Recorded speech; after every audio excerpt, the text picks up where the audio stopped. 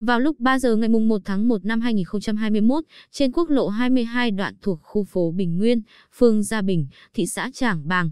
lực lượng cảnh sát giao thông thuộc phòng cảnh sát giao thông công an tỉnh phối hợp với công an xã Thanh Phước, huyện Gò Dầu và công an phường Gia Bình, thị xã Trảng Bàng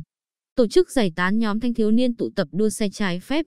Lực lượng công an đã mời 7 đối tượng về trụ sở làm việc, đồng thời tạm giữ 7 phương tiện về các hành vi không có giấy phép lái xe, vi phạm nồng độ cồn, không đủ tuổi điều khiển phương tiện, bộ phận giảm thanh không đúng quy định trước đó, lúc 11 giờ 30 phút ngày 31 tháng 12 năm 2020 tại khu vực ấp Thạnh Đông, xã Thạnh Tân, thành phố Tây Ninh. Tổ công tác thuộc đội cảnh sát giao thông công an thành phố phát hiện đối tượng Lê Hoàng Ân, quẹo, sinh năm 1982, ngụ xã Tân Phú, huyện Tân Châu. Điều khiển xe mô tô có dấu hiệu nghi vấn nên tiến hành kiểm tra. Qua đó phát hiện Ân đang cất giấu 4 bịch ma túy. Cả hai vụ việc được tổ công tác tiến hành lập biên bản bàn giao cho cơ quan chức năng xử lý theo quy định của pháp luật.